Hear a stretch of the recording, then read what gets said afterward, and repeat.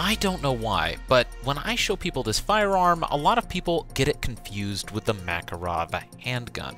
But this is a completely different firearm made by a completely different manufacturer, and I want to see if you can tell me what it is. If you know the answer, tell me down in the comments. I'll give you a hint and see if that helps.